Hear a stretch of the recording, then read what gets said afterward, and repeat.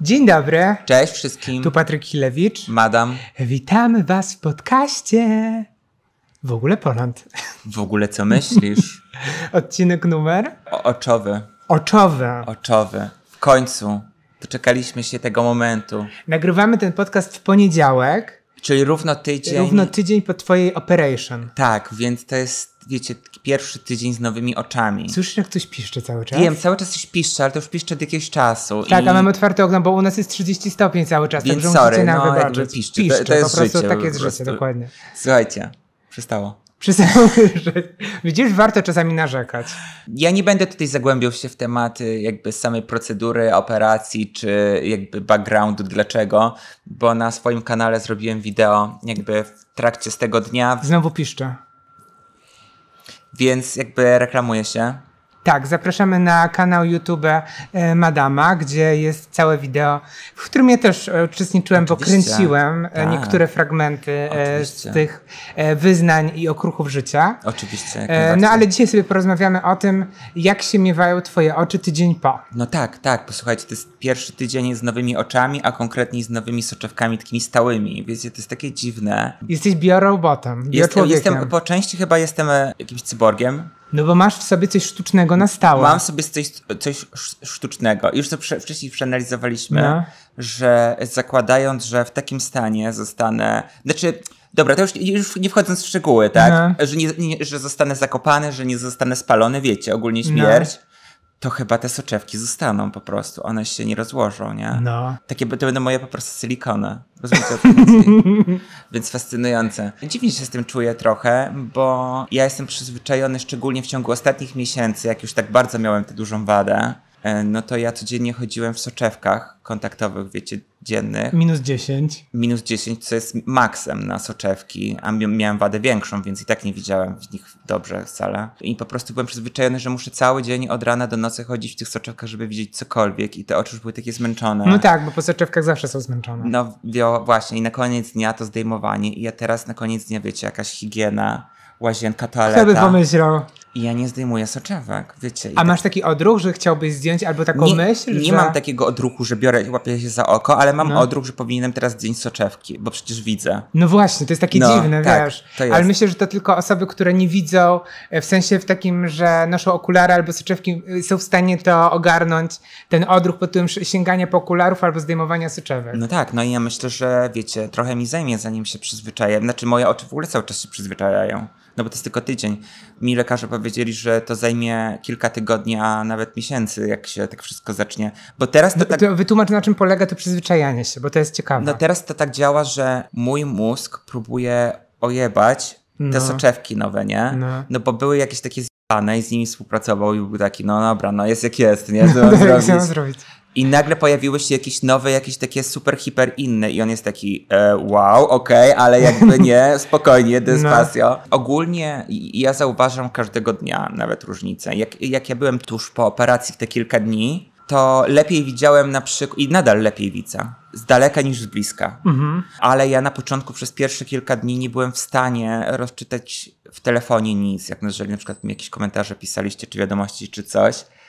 Później ogarnęliśmy i Patryk mi zrobił, że można powiększać. Literki, takie czcionkę. były wielkie literki. Takie wielkie, wiecie, że były. Jak dla seniorów. Tak, to coś takiego, tak funkcjonowałem trochę przez jakieś dwa dni. Albo na początku jeszcze robiłem, jak coś chciałem koniecznie przeczytać, to robiłem sobie screen ekranu. I powiększałeś zdjęcia. Przeczytałem, żeby przeczytać, co tam jest za treść. Naprawdę, słuchajcie, tak było, Tak nie? było. A wcześniej nie miałem tak problemu z bliskością, bo to jednak ja mam, mi, miałem minusy. Ale jakby te soczewki są progresywne, chyba to się mówi. Ja nie wiem, jakie są. Założenie jest takie, że będę widział idealnie zarówno z daleka, jak i z bliska. No i w chwili obecnej z bliska jest lepiej zdecydowanie. Widzisz mnie? Widzę cię, działam na telefonie, już czcionka jest normalnej wielkości, ale nadal trochę mi się rozmazuje. Muszę być taki, wiesz, muszę tak się wyostrzyć, sobie pomrużyć trochę albo odsunąć rękę Aha. i wtedy jestem w stanie odczytać. I nadal lepiej widzę teraz z daleka niż z bliska, nie? Więc jakby widzę przez okno i normalnie... Jak sokół. Trochę tak, no. Jak normalnie widzę jakieś okna, widzę jakieś, wiecie, ptaki latające. To, jest, to się śmieszne wydaje, ale to jest dziwne jednak, bo no, No, ja mówię, miało minus 15. przez ostatnie miesiące to nawet z okularami czy soczewkami nie byłem w stanie jakby dostrzegać takich rzeczy. I teraz wiecie, idziesz sobie ulicą, pierwszy raz od liceum, bez żadnych jakichś takich wspomagaczy w tym, No tak. w tym sensie i po prostu sobie idziesz i jesteś taki jolo, nie? I co? Co mi zrobicie? Co mi zrobicie, nie? Jakby widzę wszystko. No dobra, a czy masz jakieś, znaczy ja znam odpowiedź na to pytanie, ale e, pytam się tak jakbym z tobą przeprowadzał No wywiad, dobra. wiesz, wiesz co chodzi? No, żeby tutaj były odpowiedzieć Tak, na tak, pytania tak. ewentualnych widzów. Pozdrawiamy. tak, pozdrawiam, pozdrawiam. E, czy masz jakieś e, przeciwwskazania od doktorów? Wiecie co, ja w ogóle się sporo nasłuchałem. Ogólnie zaćma to jest choroba babci. Więc e, być może wasze babcie miały e, zaćmy. Ogólnie u nas e, znajomych większość miała babci zaćmy, więc każdy jest ekspertem od swojej babci zaćmy, nie? Tak, tak. Ty miałeś, pamiętam, napisane w karcie No. zaćma przedstarcza. Tak, bo zazwyczaj jest zaćma starsza po prostu. Więc już niedługo. No już nie, No, już ten problem wyleczony. tak, ale przedstarcza, czyli już niedługo jest starość, skoro jest przed. No tak. Ja się nasłuchałem tak, wielu rzeczy. I też czytałem na ten temat dużo, bo ja jestem taką osobą w ogóle, co nawet y, ja widziałem jak ta, może nie na wideo, ale widziałem na zdjęciach jak cała ta procedura krok po kroku będzie wyglądała. I w ogóle mnie to nie obrzydzało, po prostu wolałem wiedzieć. A mnie to tak. obrzydzało, ja nie mogłem na to patrzeć. A mimo, że ja nie miałem nic z tym robione. Na początku na, usłyszałem e, od ludzi i od internetu, że nie będę mógł się w ogóle schylać Mhm. za bardzo, nie będę mógł się schylać, że na przykład takie rzeczy jak e, mycie głowy, jak czasami, nie wiem, myjesz głowę e, po prostu pod prysznicem czy w wannie, że po prostu łeb sobie wsadzasz, bo nie chce ci się całemu chodzić, nie? No. Coś takiego, zmywasz sobie, nie wiem, głowę. No to, że nie będę mógł właśnie tak do przodu głowy schylać, tylko jedynie do tyłu. Tak jakby, nie wiem, że te soczewki miałyby mi wypaść czy co, nie wiem Dziwne, no. że nie będę mógł oglądać za bardzo telewizji, telefonu, komputera, że ograniczać się i że nie za bardzo. Że nie będę mógł nosić jakichś ciężkich rzeczy, być może już zawsze. Podnosić jakichś ciężarów, tak samo. Podnosić ciężarów, bo to też wcześniej były akcje.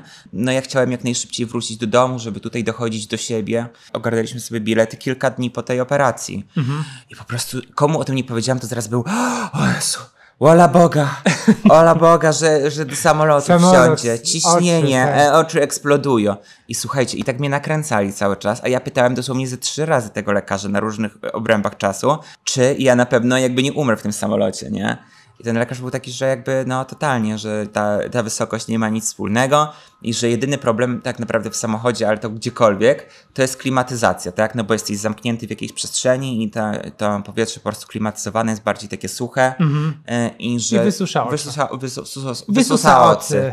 Więc to było tylko to. E, A i tak naprawdę, jak sobie e, wyjaśniłem, z, Wyjaśniłeś sobie z nim to? wyjaśniłem sobie to z lekarzem, Mhm. to on stwierdził, że jedyne przeciwwskazania jakieś takie na najbliższy okres to jest wysiłek fizyczny, żeby zminimalizować tak do dwóch, czterech tygodni. Przede wszystkim e, jakieś podnoszenie ciężarów. Seks. Tak, i ogólnie nawet rower, co jest dla mnie dziwne trochę, bo ja mówię, ja jestem teraz po tygodniu i właściwie czuję się normalnie trochę. Ale no, no dobra, no jakby skoro tak powiedzieli, no to niech będzie. To tak musi być. To tak musi być. A druga to powiedział, żeby się wstrzymać z alkoholem przez tydzień. Więc jutro balujemy! I to jest tyle. Powiedział, że jakieś schylania, czy jakieś ograniczanie się, czy coś tam, to w ogóle nie stanowi problemu. Ja, jakby ja mówię za siebie, tak? Bo ja nie wiem, bo może to też ma związek z moim wiekiem, jednak przedstarczym. Może Czy typem soczewki, którą typem masz soczewki, bo włożoną? mogą być różne. Czy ja nie wiem, samej jakby jakiejś operacji, jaka przechodziła. Nie wiem, ja mówię za siebie, jak ktokolwiek będzie miał cokolwiek robione, to niech się oczywiście dowiaduje za siebie. Właściwie na propsie, bo ja się spodziewałem się, że to będzie w ogóle znacznie gorzej. Ja miałem taką obawę, że, że te oczy, nie wiem, będą mi po prostu boleć, że będą mi piec, że będę czuł jakiś dyskomfort, że po prostu, nie wiem, y, no będzie jakieś coś, nie? W tym samolocie tak samo. Ja już w ogóle miałem wizję, że no nie otworzę oczu w ogóle na tym pokładzie ani razu. No ale był taki plan, że będziesz cały czas z zamkniętymi oczami No tak, no bo, byłem, no bo byłem przerażony, nie wiedziałem czego się spodziewać, a szczerze mówiąc to, no to naprawdę jest git, nie? Jest git, prócz tego, że nadal nie widzę jeszcze idealnie i mam też taki dziwny wzrok, mam wrażenie, że jakby te, te oczy się przyzwyczajały, ty też rozmawiałem pytami, to jest normalne, że momentami mam wrażenie, Mhm. jakby te oczy trochę e, widziały taki prześwietlony obraz, ale nie cały czas, tylko jakby tak trochę mi coś jakby tak migało czy błyskało momentami. Może Jezusa widzisz, cud może Może, może, może, tęczę. Słuchajcie, ale jest ogólnie też bardzo w Barcelonie jasno widno, więc może też to oczywiście przyzwyczajem, no wiecie, no też nie gapię się w słońce czy coś takiego, jakby staram się, aby, no nie wiem, Na mnie się gapisz, a jestem słoneczkiem twoim. to prawda, żeby jednak, wiecie, jakoś tak nie forsować tych y, oczodołów, tak? No i jeszcze codziennie. Co codziennie? No, Kropelki. kropelki. Naliczyłem, że minimum 15 razy dziennie e, kropelki do oczu. Tak, mam y, trzy rodzaje kropelków i jeden rodzaj żelu. Tak, gelu. gelu do oka, takiego ekstremalnie nawilżającego, że po prostu ja te oczy zaklejam cztery razy dziennie i mam takie obżelowane i to musi tam się wchłaniać na spokojnie. No. bo wiecie, te oczy cały czas się goją, ja nie mam założonych żadnych szwów czy coś takiego, więc e, jakby wszystko jest na żywioł. Pojebane to jest. Pojebane to jest pojebane w chuj, tak naprawdę, to jest wszystko takie pojebane. Jak? Tak. No dobra, a jak ci się żyje bez ćwiczonek e, przez ten tydzień? Super, prawda? Ciężko trochę. Nie, ciężko to było z ćwiczonkami. Wiecie, z jednej strony to jest tak, że ja nienawidzę ćwiczyć i to jest jakby u mnie stałe, bez względu na to, ile bym nie ćwiczył i jak bym nie ćwiczył, ale z drugiej strony jakby czuję też, że te ćwiczenia dają mi coś i też jakby, no muszę to przyznać. Tak jest, niestety tak jest i to nie sprawia mi przyjemności i to nie jest wcale żadna ściema, ale po ćwiczeniach człowiek czuje się lepiej. To jest Powiedziałem niemożliwe. To, powiedziałem to. To jest niemożliwe. To. to. jest jakaś propaganda fitnessiar.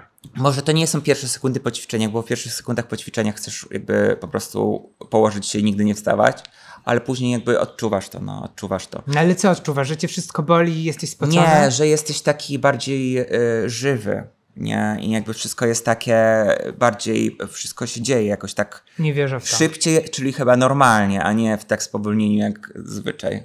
Czyli nie? u mnie się dzieje w spowolnieniu wszystko? Możli, to jest możliwe, nie wiem, no nie jestem tobą, więc ciężko mi Ale powiedzieć. dzisiaj jak we mnie rzuciłeś e, paczką, Złapałeś. to złapałem, był refleks. Był refleks, brawo, No, brawo widzisz? I nie ćwiczę i nie muszę e, spędzać godzin w pocie. To prawda, chociaż No. i tak się pocisz, bo jest gorąco.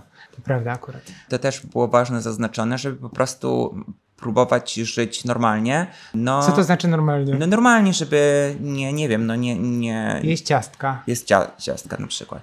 I e, żeby po prostu sprawdzać też, tak? Bo to wszystko zależy od organizmu i, e, no i od osoby, od przypadku. I tak samo jak ja będę zacznę już coś podnosić, ćwiczyć, no to będę zobacz, patrzył, czy mi oczy wychodzą, czy nie wychodzą mi, nie?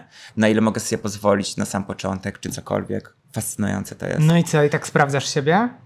No na razie jeszcze nie robię nic, nic fizycznego, więc nie, nie sprawdzam siebie. No ale czasami się na tym łapię, tak? Na przykład właśnie normalnie tak nie myślę o tym cały czas.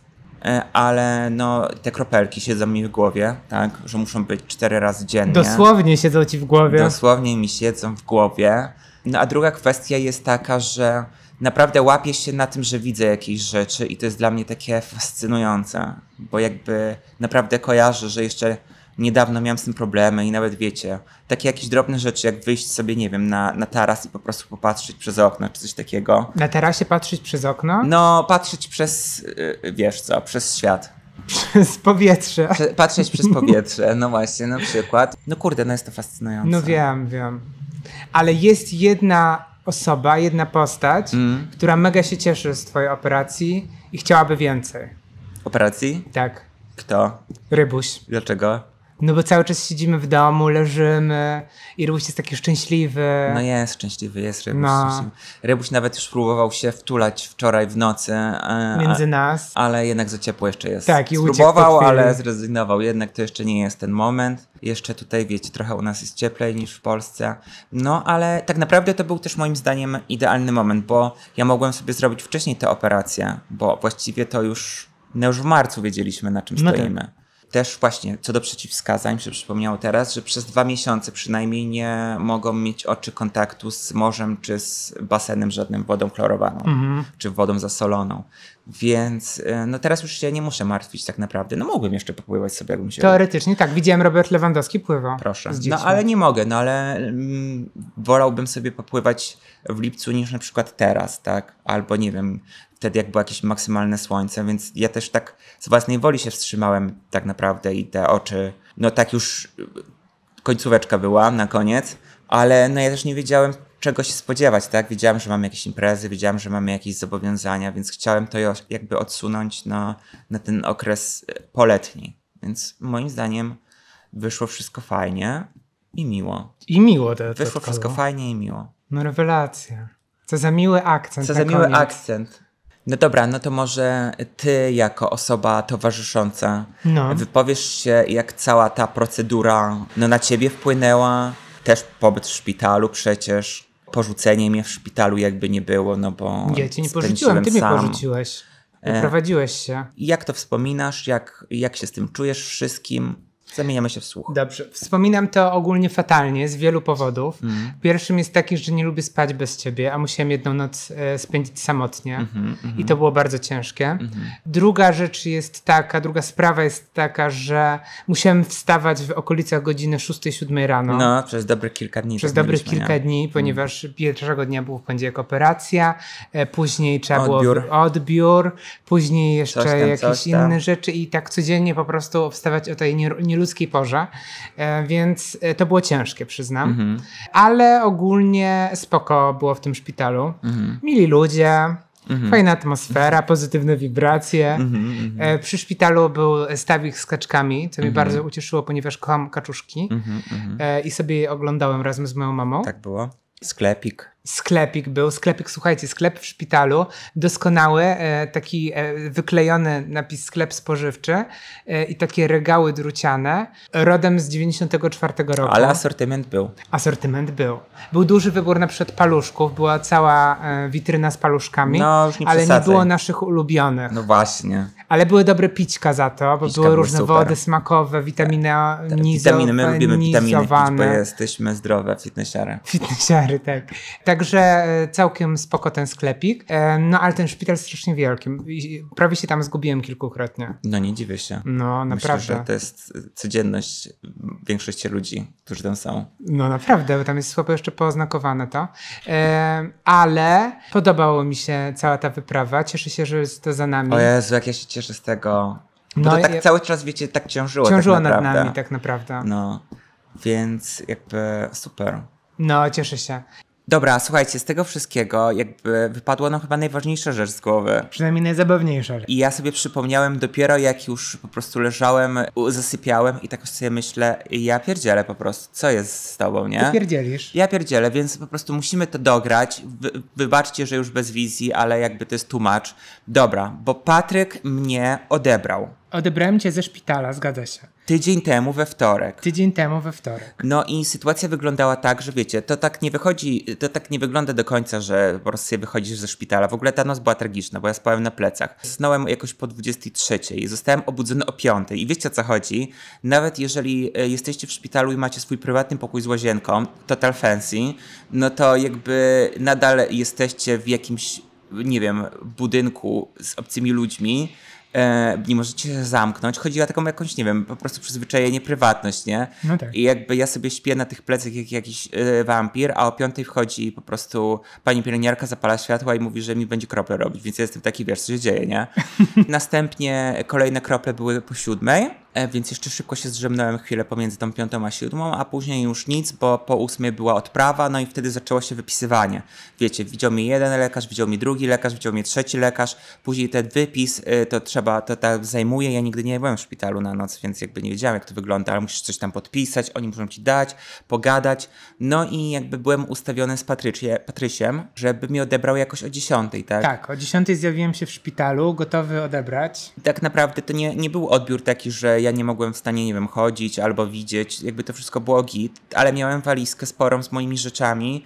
A, a nie mogłeś dźwigać. A nie mogłem za bardzo dźwigać, no a jednak może ta walizka na kółkach, ale czasami trzeba ją zadźwigać, a wiedziałem, że będę musiał zadźwigać, bo byłem umówiony już na 12 u naszej dentystki. Tak. I po prostu no jakby no nie, nie będę tam, nie byłem tam pierwszy raz, więc wiedziałem, że tam nie ma niestety żadnego podjazdu, a jest tak, trzeba wyżej wejść schodkami. Schodkach, tak. E, więc jakby to było pewne, że będzie problem.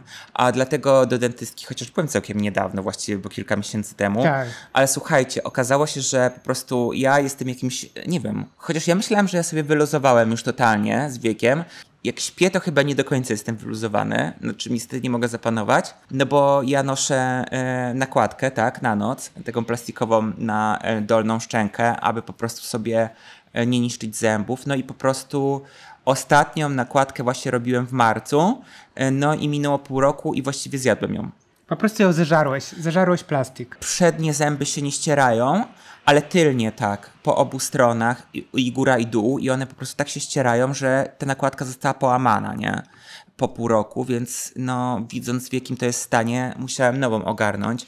A żeby ogarnąć nową, to trzeba zrobić nowy odcisk zębów, pomimo, że zęby są te same.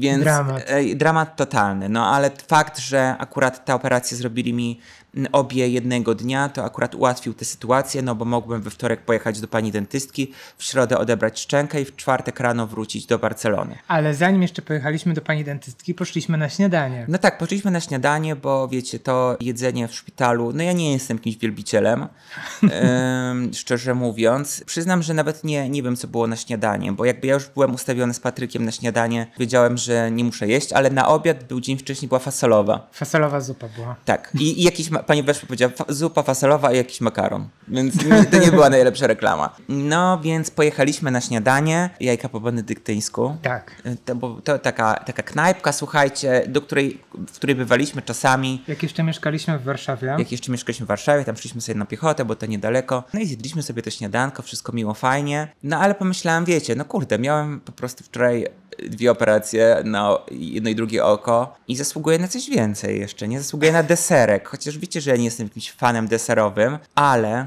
jest jeden rodzaj tortu ciasta, który po prostu jest dla mnie ekstazą i to jest bez z kremem. Wiecie dlaczego? Tam nie ma żadnego ciasta. Tam nie ma ani miligrama ciasta. No tak, to, to jest po prostu beza z kremem. Kiedyś ja już jadłem tam bezę z kremem malinową, co jakby jest moim top, top, top total.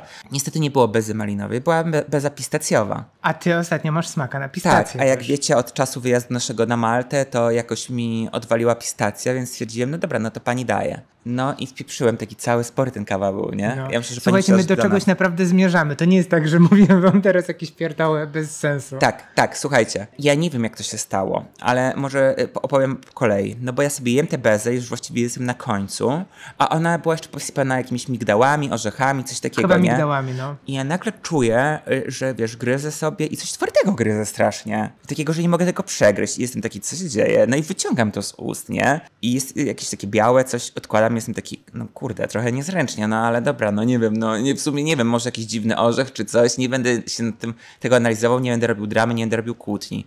No i tak jem sobie, jem i nagle tak czuję się dziwnie jakoś w buzi. Wiecie, no w trakcie jedzenia jakoś mm -hmm. po prostu odczuwacie to, czy jak mówicie, czy cokolwiek. I ja mówię do Patryka, Patryk, patrz. Patryk, patrz. A ja mam nadkruszoną jedynkę. No, nadkruszysz sobie jedynkę jedząc bezę pistacjową. Ja nie wiem, słuchajcie, ja naprawdę nie kojarzę tego momentu gdy ja coś ugryzłem i w ogóle no nie Ale wiem. jak to można zrobić wiem o tym, która jest tak mięciutka? Wiem o tym i tym bardziej raczej się nie gryzie czegoś takiego przednimi zębami, tak? Jakąś kanapkę może przednimi zębami gryziesz czy coś, ale no nie wiem, no nakładając coś łyżeczką, to raczej korzystasz z tylnych zębów. Ja nie wiem, jak to się stało absolutnie nie wiem. No to była mega komedia. Tak. Wiecie, ja normalnie się zlałem i, i, z tego wszystkiego, bo najlepsze było to, że byliśmy tuż przed wizytą u pani dentystki naszej. Więc ja wiedziałem, że to będzie zrobione bez problemu. I to był po prostu jakby creme de la creme po prostu moich operacji, nie? Ale wyobraźcie sobie, jakby to się zdarzyło na przykład dzień po. No, dzień po dentystce, gdy nie ma Barcelonie. wizyty, tak. Ja, wiecie, że jestem teraz taki straumatyzowany tym, że ja po prostu cały czas sobie sprawdzam, czy mam tę jedynkę. Naprawdę? Tak, sprawdzam sobie, czy mam tę jedynkę, uważam jak jem, żeby, no nie wiem, no bo wiesz, mam nadbudowaną i teraz nie wiem. Ale chore. Chore, chore. I teraz tak naprawdę co na jesień, jakie mamy plany? No nie wiem, no, wydać książkę, pracować, odpoczywać. Będzie powrót seansów filmowych. Powrót seansów filmowych co środa. Tak, bo latem po prostu było tutaj za gorąco w domu, a raz mhm. jakby ciemno było, żeby rzutnik można było odpalić, no to już było, nie wiem, 10 godzina wieczorem. Więc będziemy znowu oglądać filmiki. Tak będzie. No i nie wiem, niedługo wrócą pewnie kocyki, wiecie, niedługo wróci herbatka, tak? Rybuś niedługo się wróci nie może rybuś. doczekać pewnie. Najlepszy okres y, jakby dla, dla niego, kotków tak. ogólnie. No i, no i tak to będzie, słuchajcie, no, oby do przodu, oby bez zaćmy. Co nie? Nieco. A, no i jeszcze co mi się przypomniało, co też było dla mnie jedną taką z większych problemów, jednym No. z większych problemów. Musiałem przez dwie pierwsze noce przynajmniej spać na plecach. O mój Boże, no tak. Ja nie umiem spać na plecach. No wiem, to jest mega trudne. Ja śpię na boku albo na brzuchu, a chodziło o to, żeby po prostu nadal zresztą tak jest, bo to jakby nic się nie zmieniło, żeby nie dotykać oczu. Jak, jak, najmniejsze prawdopodobieństwo, że czymkolwiek, czy palcami, czy poduszką dotkniesz oczu.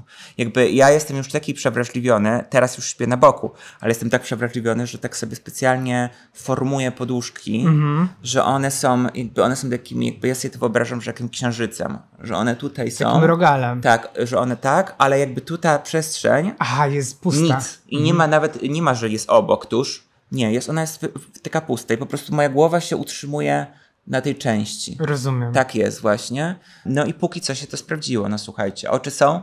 Są. są. Tydzień minął? No minął. No może będą jeszcze z tydzień. Może jeszcze pobędą trochę, no nie wiem, ja jestem przyzwyczajony do tego, żeby cieszyć się po prostu chwilą, wiecie. Carpe diem. E, dokładnie tak, widzę teraz, czuję się dobrze, więc e, po prostu idziemy wamos z tym głównym i lecimy dalej. To lecimy. To teraz Dziękujemy. co? Co operujemy? Co operujemy? Teraz u ciebie. Ale co u mnie? No nie wiem, no teraz twoja kolej. Ale co u mnie operować? No nie wiem. Możesz wybrać. Mogę wybrać? Tak. Robimy tą. Co? Trepanację. A po co trepanacja? A dlaczego nie? Ale ja nie chcę na przykład. Ale spokój. No dobra, przekonałeś mnie. Dzięki wielkie. pa. pa.